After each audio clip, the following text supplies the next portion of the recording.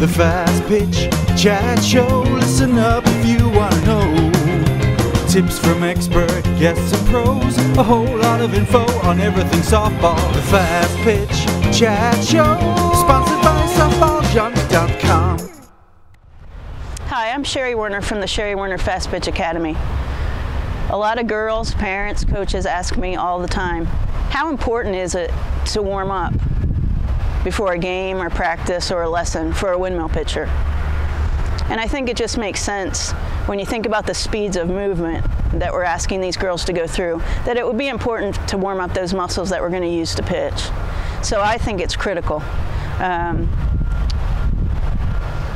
see a lot of girls get in a situation where, especially in the state of Texas, they're traveling sometimes three or more hours to a practice on a weekend. And they get out of the car and they've either been sleeping or it's cold, their body's cold, and then they just go right out and start throwing a ball. Um, not a good idea. Muscles I like to think of are like rubber bands, and if we put them in a freezer, they're going to get pretty darn tight. And if we ask them to all of a sudden take it out of the freezer and stretch it very quickly, it's going to break. And that's the same way our muscles work. So it's important, important, important to warm up for any softball athlete, but particularly a windmill pitcher.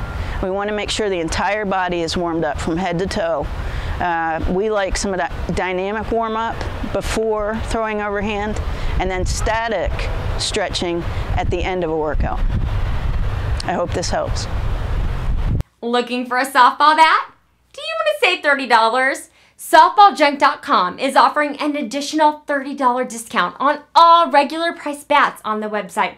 That's right, $30 discount. Just text the word fast pitch to 555-888 and Gary will send you a discount code good for $30 off your next softball bet at softballjunk.com. FYI, that code's also good at the Arlington, Texas store.